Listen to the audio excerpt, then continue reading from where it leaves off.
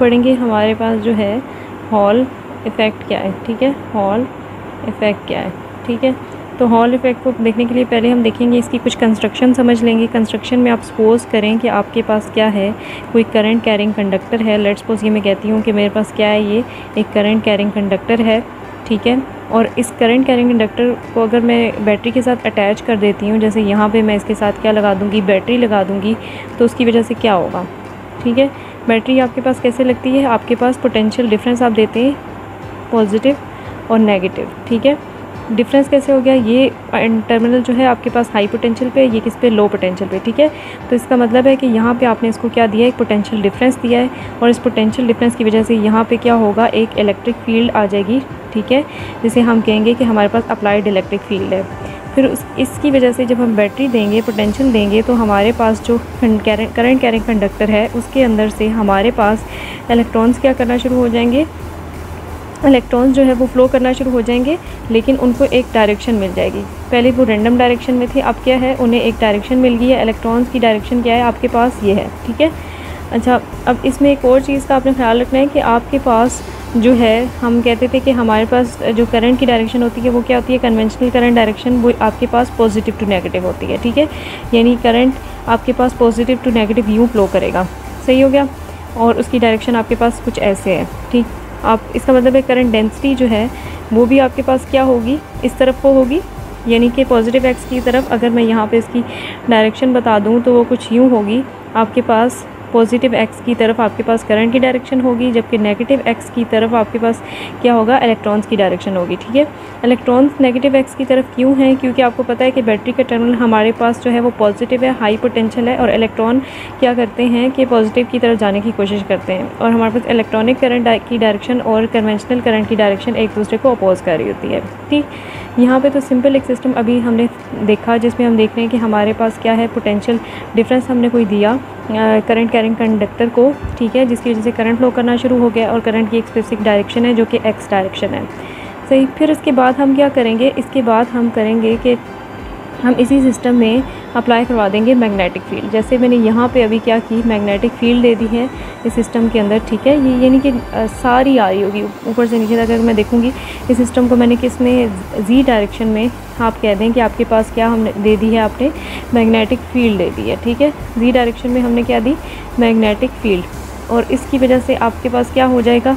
Magnetic field के apply करने की वजह से आपको पता है कि जब भी हम मैग्नेटिक फ़ील्ड देते हैं किसी भी जगह, यानी कि मैं कोई इलेक्ट्रॉन आ रहे हैं उधर और मैं वहाँ पे इलेक्ट्रॉन सीधे सीधे मूव कर रहे हैं, अगर रास्ते में मैग्नेटिक फ़ील्ड लगा देती हूँ तो उनका पाथ क्या हो जाता है? चेंज हो जाता है। मैग्नेटिक फ़ील्ड इलेक्ट्रॉन्स को क्या करेगी? डिफ्लेक्टिंग फोर्स के तौर पे एक्ट करेगी और इन इलेक्ट्रॉन्स की जो है एग्जैक्ट जो मोशन थी उसको क्या करेगी? डिफ्लेक्ट करेगी। ठीक है? तो सेम यहाँ आपके पास क्या होगा? यहाँ पे भी इलेक्ट्रॉन्स जो आ रहे हैं, ये वैसे तो इस तरफ़ को आपके पास नेगेटिव एक्स की तरफ़ मूव कर रहे थे, लेकिन जैसे ही मैग्नेटिक फ़ील्ड उन पर एक्ट होगी और वो क्या करेंगे, वो जो है वो अपना पाथ चेंज कर लेंगे डिफ्लेक्ट हो जाएँगे। सारे सारे इलेक्ट्रॉन्स जो होंगे, वो क्या होना शुरू हो जाएँगे? डिफ्लेक्ट होंगे। और डिफ्लेक्ट होके क्या होगा? डिफ्लेक्ट होके जो ये फ्रंट फेस है बॉक्स का, जो आप देख रहे हैं, ये वाला फेस है आपके पास बॉक्स का, जो मैं ये फ्रंट आप समझें कि ये फ्रंट वॉल है, ठीक है? इसकी तरफ़ एक मिलेट होना शुरू हो जाएँगे इलेक्ट्रॉन ठीक है? यानी अगर मैं उसको अलग से बनाऊँ तो वो मेरे पास कुछ यूँ होगा। इसी बॉक्स को बना रही हूँ, इसका एक फ्रंट फेस बना रही हूँ और एक इसका बैक ठीक है? फ्रंट फेस लेट्स सपोज़ मेरे पास ये वाली लाइन फ्रंट फेस है और ये बैक फेस है। फ्रंट पे हमारे पास क्या हो जाएगा? नेगेटिव इलेक्ट्रॉन आ जाएँगे, जबकि मेरे पास बैक पे क्या आ जाएगा? पॉजिटिव होल्स होल्स की वजह से पॉजिटिव चार्जेस आ जाएँगे, ठीक है? फिर उसके बाद मुझे पता है कि जब कभी आपके पास ऐसे पॉजिटिव एक साइड पे जब नेगेटिव चार्जेस एक्यूमुलेट हो गए और एक साइड पे पॉजिटिव चार्जेस तो इनकी वजह से इसके बीच में क्या हो जाएगी? एक इलेक्ट्रिक फ़ील्ड डेवलप हो जाएगी। क्या हो जाएगी, हमारे पास इलेक्ट्रिक जो है फ़ील्ड डेवलप हो जाएगी, जिसको हम क्या कहेंगे, जिसकी डायरेक्शन क्या होगी। आप इलेक्ट्रिक फ़ील्ड होगी, वो हॉल इफ़ेक्ट की वजह से होगी, यानी मैग्नेटिक फ़ील्ड की वजह से हुई है तो उसे हम इलेक्ट्रिक फ़ील्ड को भी हम कहेंगे ई e एच ठीक है? और उसकी डायरेक्शन क्या होगी पॉजिटिव टू नेगेटिव ठीक है? क्योंकि हमें पता है इलेक्ट्रिक फ़ील्ड की डायरेक्शन हमेशा क्या होती है पॉजिटिव टू नेगेटिव सेम जैसे यहाँ पे आप देख रहे हैं पॉजिटिव से नेगेटिव हमारे पास इलेक्ट्रिक फ़ील्ड की डायरेक्शन थी, लेकिन ये वाली जो इलेक्ट्रिक फ़ील्ड थी, ये हमारे पास अप्लाइड इलेक्ट्रिक फ़ील्ड थी, ठीक है? जबकि ये हमारे पास क्या आई है? जब हमने मैग्नेटिक फ़ील्ड दी है मैग्नेटिक फ़ील्ड के आने के बाद आई है, ठीक है? और ये ऐसे आ रही है कि फ्रंट फेस इस बॉक्स की अगर आप देख रहे हैं करंट कैरिंग कंडक्टर के फ्रंट पे इलेक्ट्रॉन एक्यूमुलेट हो गए और बैक पे होल्स ठीक हो गया? अब इसके साथ साथ इसमें आपके पास और क्या चीज़ डेवलप हो जाएगी? एक वोल्टेज डेवलप हो जाएगी जो यहाँ पे आप लिखेंगे और जिसे कहेंगे ये आपके पास हॉल वोल्टेज होगी। क्या होगी? हॉल वोल्टेज होगी। ठीक है?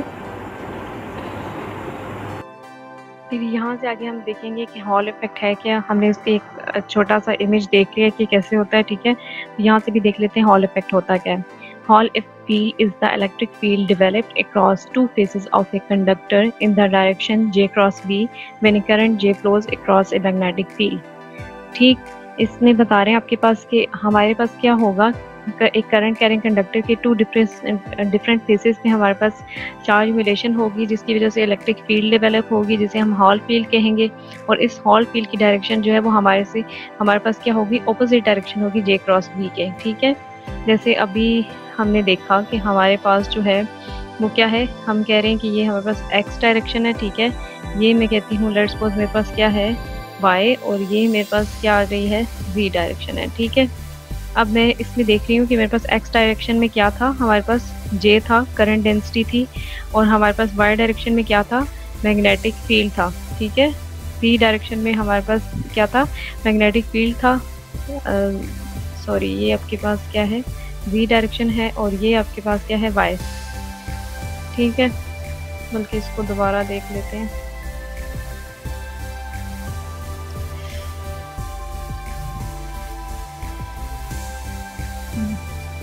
यू है आपके पास, ठीक है? ये एक्स और ये आपके पास सी है और ये आपके पास वाई है। इसमें हम ले रहे थे मैग्नेटिक फ़ील्ड यहाँ पे हम क्या ले रहे थे? आपके पास जो है वो करंट डेंसिटी थी। ठीक हो गया एक्स डायरेक्शन में और जो वाई डायरेक्शन है, वहाँ पे चार्ज इमेलेशन हुई है और वहाँ पे आपके पास जो है डायरेक्शन में आपके पास हॉल फ़ील्ड बन रही है वाई डायरेक्शन में, ठीक? इसका मतलब है कि अगर आप ये जे क्रॉस बी लेंगे, यानी एक्स क्रॉस बी लेंगे तो वाई में आपके पास हॉल फ़ील्ड बनेगी।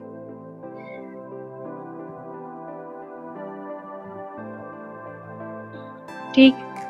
और इसकी एक्सप्लेनेशन देख लेते हैं कैसे let us consider rectangular metal slab carrying a current density J X in the positive X direction and placed in uniform magnetic field of induction B acting perpendicular to both conductor and the current इसमें हमने again suppose किया है कि हम कोई metal slab ले रहे हैं जिसको हमने क्या किया है मेटल मैग्नेटिक फ़ील्ड के uh, में uh, हमने उसे प्लेस किया है ठीक है?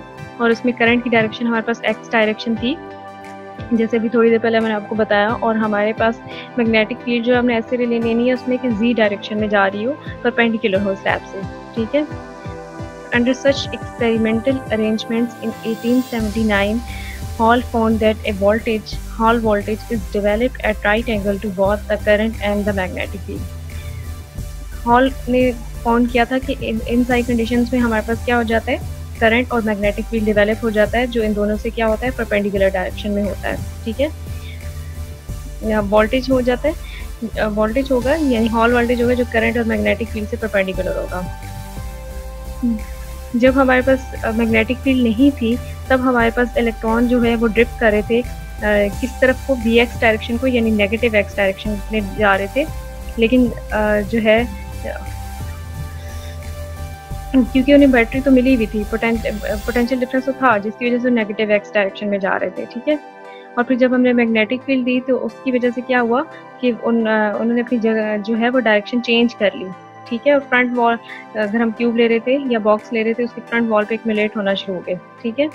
और then the field is applied a force call the Lorentz force causes the electrons paths to deflect towards the front face of the rectangular block ठीक? इसमें अब हमारे पास क्या हुआ है कि जब हमने फ़ील्ड दी है मैग्नेटिक फ़ील्ड दी है जी डायरेक्शन में तो उसने इलेक्ट्रॉन की डायरेक्शन को चेंज कर दिया है और अब वो फ्रंट फेस पे जाके जो है स्ट्रक किए हैं। As a result and excess of electrons accumulate on the front face of the slab वो फ्रंट फेस पे आ गए और इलेक्ट्रॉन के फ्रंट फेस आने की वजह से पीछे जो है इलेक्ट्रॉन की डेफिशिएंसी हो गई है पॉजिटिव आइन या पॉजिटिव होल्स जो है वो क्रिएट हो गए और वो क्या होंगे? बैक उसके स्लैब जो भी हम ले रहे हैं, उसकी बैक फेस पे, वो ऑपोजिट पे, उसमें इक्वलेट हो जाएँगे। Appearance of opposite charges on the opposite face create an electric field called Hall field positive Y Y axis ये गेन वही बात जो मैंने आपको बताई है कि वाई डायरेक्शन में वो क्या करेंगे? एक्यूमुलेट करेंगे। Lorentz force acting on an electron which is moving from right to left with velocity v is this ठीक इसकी अब थोड़ी सी कैलकुलेशन देख लेते हैं, इससे पहले एकदम आप फिर अगेन फिगर देख लेते हैं। देखिए, ये आपके पास एक्स डायरेक्शन है, ये वाई डायरेक्शन है और ये आपके पास वी है। इसमें एक मेटालिक स्लैब रखा हुआ है। एक्स डायरेक्शन ये आपको नज़र आ रही है, ठीक? ये वाई और वी एक्स डायरेक्शन में आपके पास नेगेटिव एक्स में आपके पास इलेक्ट्रॉन जा रहे होंगे। जब हमने बैटरी दी हुई है, लेकिन फिर जब हमने मैग्नेटिक फ़ील्ड दी तो वो उसका पाथ को डिफ्लेक्ट करेंगे इलेक्ट्रॉन को, और इलेक्ट्रॉन जो है वो इस स्पेस पे एक्यूमुलेट होना शुरू हो जाएँगे। जब इलेक्ट्रॉन इस स्पेस पे एक्यूमुलेट होंगे तो पिछली फेस पे बिल्कुल इधर बैक पे आपके पास होल्स आ जाएँगे। यानी ऑपोजिट फेसेस पे डिफरेंट चार्जेस आ जाएँगे। ठीक है? तो आपके पास हॉल फ़ील्ड आ जाएगा, और यहाँ हॉल वोल्टेज आपके पास आ जाएगा। ठीक है? ये देखें इलेक्ट्रॉन्स जो है वो किस तरफ़ को जा रहे हैं? इस तरफ़ को। अगर मैं इसकी लेंथ देती हूँ और विथ तो वो बी और टी से आपको रिप्रेजेंट हुई है आपके पास। और यहाँ पे मैं देख रही हूँ, ये देखें हॉल हॉल फ़ील्ड आ गई है और ये उसका वोल्टेज आ रहा है। ये मैग्नेटिक फ़ील्ड की डायरेक्शन है। The direction of electric current, conventional electrostatic field is set up. Conventional electric field setup हो जाएगी, जो proportional होगी। मतलब करंट डेंसिटी जो है वो इस बात पे डिपेंड करेगी कि कितनी इलेक्ट्रिक फ़ील्ड है, ठीक है? और अगर इस प्रोपोर्शनल साइन को मैं ख़त्म करूँगी तो इलेक्ट्रिकल कंडक्टिविटी आ जाएगा, जो आपके पास सिग्मा से प्रेजेंट होता है। ठीक? And this electric field will be act on the electron यही इलेक्ट्रिक फ़ील्ड एक्ट करी है, जिसकी वजह से हमारे पास इलेक्ट्रॉन जो वो एक्सेलेट होकर नेगेटिव एक्स डायरेक्शन में मूव कर रहे हैं। उनकी ड्रिफ्ट वेलोसिटी क्या होगी क्योंकि वो नेगेटिव एक्स डायरेक्शन में इलेक्ट्रॉन मूव कर रहे हैं तो उनकी वेलोसिटी भी नेगेटिव वी डी होगी। और मैग्नेटिक फ़ील्ड यहाँ पे कहाँ लग किस डायरेक्शन में लग रही है? जी डायरेक्शन में लग रही है। इसको हम के वेक्टर से प्रेजेंट कर देंगे, क्योंकि जो हमारे पास वी डायरेक्शन होता है, वो हमारे पास क्या होता है? के वेक्टर होता है। और अगर मैं लॉरेंस फोर्स को यहाँ पे लिखूँ तो क्या होगा? माइनस बी इलेक्ट्रॉन की वजह से नेगेटिव चार्ज के लिए मैंने यूज़ किया है।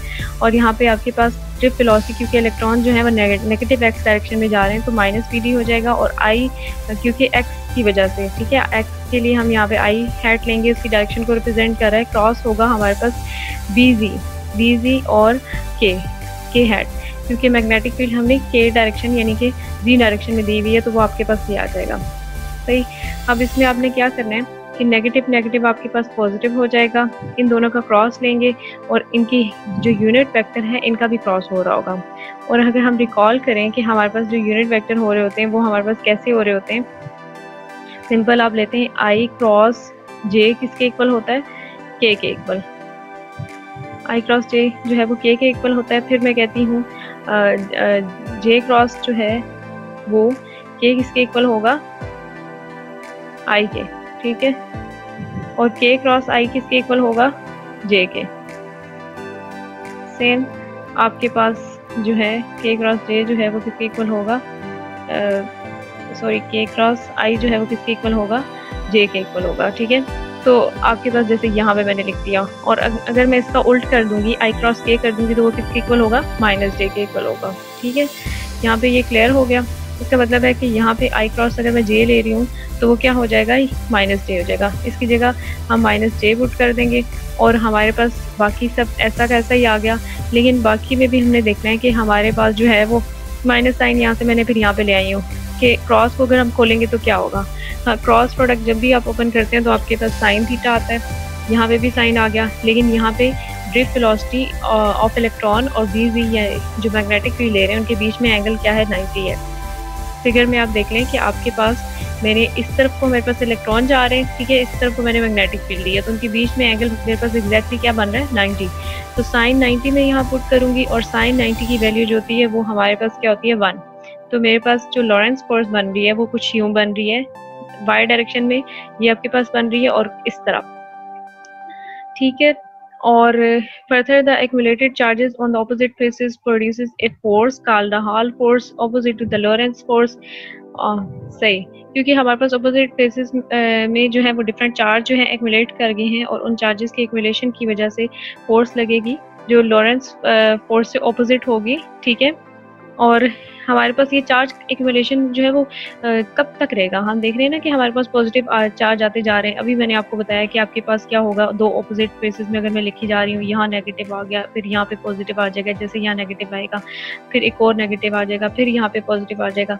तो ये बात है देखने की कि चाहे ये दो हो, चाहे तीन हो, यहाँ पे हमें पता है इलेक्ट्रिक फ़ील्ड तो डेवलप हो गई है, जो हम हॉल इलेक्ट्रिक फ़ील्ड कह रहे हैं। ठीक है, इसकी वजह से इलेक्ट्रिक फोर्स भी हो रही होगी यहाँ पे हॉल फोर्स और फिर अब वो कब तक होगा कि जो है ना, ये प्रोसेस कंटिन्यू रहेगा कि यहाँ नेगेटिव आते रहेंगे। ठीक है? तो ये बात जो है यहाँ एक्सप्लेन हुई हुई है। Accumulation process continues until the Hall force completely cancel the Lorentz force जब तक हॉल फोर्स और लॉरेंस फोर्स बिल्कुल कैंसिल यानी कि एक दूसरे के बराबर नहीं आ जाती, तब तक एक्मुलेशन प्रोसेस जो है वो कंटिन्यू रहेगा। जैसे ही दोनों फोर्सेज बराबर हो जाएँगी, फिर फर्थर जो है चार्ज एक्मुलेट नहीं होंगे फ्रंट और बैक फेस पे। ठीक? तो इसका मतलब है कि इक्वलिब्रियम पे हम इन दोनों फोर्सेस को क्या लेंगे? इक्वल ठीक हो गया। अब Lorentz force minus E V D B G जो अभी मैंने जे में लिया और हॉल फोर्स भी सेम वैसे ही होगी आपके पास। ये कैसे आई है आपके पास जो हॉल फोर्स ले रही हूँ मैं? ये आपके पास ऐसे आई है कि आप, अगर रिकॉल करें तो आपके पास इलेक्ट्रिक फ़ील्ड क्या होती थी? हमारे पास इलेक्ट्रिक फ़ील्ड होती थी E is equal to F by Q ठीक है? फिर अगर मैं हॉल फोर्स के लिए इस एफ़ को साइड पे कर लेती हूँ तो मेरे पास क्या हो जाएगा? क्यू और यहाँ पे क्या आ जाएगा? इलेक्ट्रिक फ़ील्ड का ई e. अब जो Q है आपके पास, Q की जगह हम क्या लेंगे? यहाँ माइनस ही क्योंकि इलेक्ट्रॉन की बात करें और ये आपके पास उसकी इलेक्ट्रिक फ़ील्ड आ जाएगी और ये उसकी फोर्स हॉल फोर्स आ रही है। ठीक है? ये जो चीज़ है, ये आपके पास इक्वेशन के इस साइड पे ये आ रही है। दूसरी फोर्स जो है, ये आपने लॉरेंस फोर्स अभी ऊपर फाइंड की है तो वो ये आ रही है। ठीक हो गया? अब अगर आप देखेंगे इनमें से क्या क्या चीज़ें कट रही होंगी? नेगेटिव नेगेटिव साइन एक दूसरे से कट जाएगा। इलेक्ट्रॉन इलेक्ट्रॉन एक दूसरे से कैंसिल हो जाएगा इक्वेशन में। पीछे रह जाएगा। E H is equal to V D B G और अगर मैं ड्रिप वेलोसिटी को साइन पे साइड पे लेती हूँ तो ड्रिप वेलोसिटी वी के सबस्क्रिप्ट में छोटा सा हमने ये क्या लिखा हुआ है? डी लिखा हुआ है। ड्रिप वेलोसिटी को रिप्रेजेंट कर रहा है और किस चीज़ की? इलेक्ट्रॉन तो वो मेरे पास बन जाएगा E H by B G यानी Hall electric field by B G सही? और further the current density is given by the equation हम करंट डेंसिटी को देखें तो हमारे पास जो है, हमें पता है क्या होती है। यहाँ इस केस में मुझे पता है करंट जो है, वो या आपके पास चार्जेस जो फ्लो कर रहे हैं वो एक्स डायरेक्शन में कर। रहे हैं तो जे एक्स टर्म यूज़ करेंगे करंट डेंसिटी के लिए और वो क्या, किसके इक्वल होगा? Minus N E B D E हमने माइनस ई e जो है, वो इलेक्ट्रॉन के लिए यूज़ किया है। एन हमारे पास जो है नंबर डेंसिटी है। यानी चार्ज चार्ज कैरियर डेंसिटी है कि एक सिस्टम के अंदर हमारे पास, क्योंकि एक इलेक्ट्रॉन तो होगा नहीं। बहुत सारे होंगे। तो चार्ज कैरियर डेंसिटी बता रही होगी कि कितने ठीक है? तो वैन से रिप्रेजेंट होगा और वी डी उनकी ड्रिप वेलोसिटी है। ओके okay, क्या है? ठीक है तो हमारे पास यहाँ पे करंट डेंसिटी की इक्वेशन ये बन जाएगी। अब अगर करंट डेंसिटी की इक्वेशन में मैं वी डी की वैल्यू सब्सिट्यूट करूँ वी डी जो मैंने यहाँ पे फाइंड किया है ये इसकी जगह मैं पुट कर देती हूँ तो E H by B G उसकी जगह आ जाएगा जैसे यहाँ पे आ गया तो ये करंट डेंसिटी की वैल्यू आ गई है ठीक है? अब मैंने ई e एच की वैल्यू साइड पे ले लेनी है। ई एच की वैल्यू अगर मैं एक साइड पे कर लेती हूँ तो बाकी मेरे पास इस सारी इक्वेशन में क्या बचेगा? माइनस वन बाई दूसरी साइड पे चले जाएगा। जे एक्स और बी जी ये आपस में मल्टीप्लाई हो रहे होंगे। ठीक है? इससे मुझे बड़े इंपॉर्टेंट चीज़ें पता चल रही हैं। क्या क्या कि एक तो ये कि Hall effect field is proportional to बहुत द मैग्नेटिक फ़ील्ड के प्रोपोर्शनल है वो और दूसरा किसके प्रोपोर्शनल है? करंट डेंसिटी की प्रोपोर्शनल है। Then uh, the constant of proportionality is known as Hall constant and is defined by RH is equals to minus one by NE. तो यहाँ से जो ये वाली टर्म है, जो आप ले रहे हैं कि आपके पास ये वाली टर्म बन रही है, ये क्या है? हमारे पास आर एच यानी हॉल रेजिस्टेंस के इक्वल होगी, ठीक है? और हॉल रेजिस्टेंस इसका मतलब है किस पे डिपेंड कर रहा है? एक तो इलेक्ट्रॉन पे डिपेंड कर रहा है चार्ज कैरियर पे और चार्ज कैरियर डेंसिटी पे डिपेंड कर रहा है हमारे पास हॉल रेजिस्टेंस यहाँ से मुझे ये पता चल रहा है, ठीक है? और इसको अगर मैं क्या करती हूँ लिखती हूँ दोबारा तो क्या होगा? देखिए R H is inversely proportional to the density of charge carrier जो कि एन है, और sign of the Hall constant indicates the nature of the charge carrier that predominate in the conduction process यहाँ से मुझे पता चल रहा है कि हॉल इफ़ेक्ट जो है वो किस किस चीज़ पे डिपेंड कर रहा है? एक तो वो डेंसिटी पे डिपेंड कर रहा है, जैसे एन पे डिपेंड कर रहा है, दूसरा ई e के साथ। अब जैसे यहाँ पे जो नेगेटिव साइन आया हुआ है, ये डिपेंड करेगा कि मेरे पास अभी चार्ज कैरियर यहाँ पे क्या है। इलेक्ट्रॉन्स हैं या होल्स हैं। इलेक्ट्रॉन होंगे तो नेगेटिव साइन आएगा, अगर होल्स होंगे तो पॉजिटिव होगा, यानी हाल रेजिस्टेंस जो है उसकी वैल्यू भी पॉजिटिव नेगेटिव हो सकती है। डिपेंड करता है कि उसके अंदर जो है चार्ज कैरियर कौन से डोमिनेंट चार्ज कैरियर कौन से हैं। ठीक है? अच्छा इसकी इम्पोर्टेंस क्या है कि हॉल इफ़ेक्ट हमने जो भी यूज़ किया है, इससे हम क्या क्या चीज़ें फाइंड कर सकते हैं? इससे हमें पहली बात जो अभी मैंने आपको बताई कि sign of the pre charge carrier का पता चल सकता है चार्ज डेंसिटी का पता चल सकता है और मोबिलिटी का पता चल सकता है। थोड़ा सा इसको और देख लेते हैं। देखिए ई एच अब मैंने one by minus one by N E की जगह आर एच लिख दिया। जे एक्स और बी जी हो जाएगा मेरे पास। अगर मैं आर एच हॉल रेजिस्टेंस को लिखना चाहूँ यहाँ से अलग तो मेरे पास इसका एक फार्मूला ये भी बन जाएगा E H by J X B G ठीक है? फिर उसके बाद ई एच हमारे पास क्या होगा? वी एच बाई बी ये कैसे आया हमारे पास? इलेक्ट्रिक फ़ील्ड में ऐसे भी लिख सकती हूँ। ये आप रिकॉल करें, आपके पास कैसे होता था? Electric field intensity is equal to B by D ठीक है? पोटेंशियल के साथ उसका ये लिंक होता था। डी यहाँ पे आप डी की जगह बी लिख देंगे और ये हॉल वोल्टेज आ जाएगा वी एच ठीक है? और यहाँ पे आप इसको अगर इसके अंदर इंजर्ट करेंगे तो आपके पास आर एच की वैल्यू थोड़ी अपडेट हो जाएगी, जो हो जाएगी V H B J X B G हो जाएगा, ठीक है? और करंट डेंसिटी आपके पास क्या होती है? करंट डेंसिटी के एक तो minus one minus N E के इक्वल है, दूसरा उसका फार्मूला होता है current flowing per unit area जो है, वो हमें करंट डेंसिटी दे रहा होता है, जैसे यहाँ पे मैंने लिखा। और एरिया किसके इक्वल है? यहाँ पे हमारे केस में बी इंटू टी बी क्या था और टी क्या था? बी आपके पास width of the current carrying conductor है और टी आपके पास थिकनेस है। स्टार्ट में हमने बताया था अगर मैं फिगर आपको दोबारा से दिखा दूँ। तो ये, टी आप देखें, ये आपके पास है और बी आपके पास ये है।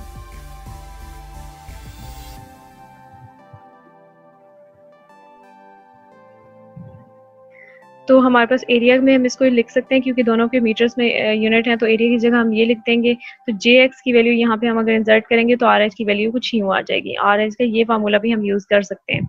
ठीक है? इसके बाद मोबिलिटी यूज़ करेंगे। मोबिलिटी के लिए आप ये थोड़ी सी कैलकुलेशन देख लीजिएगा। इन्हीं चीज़ों को इंसर्ट करके इसकी जो है हमने वैल्यू क्या की है फाइंड की है।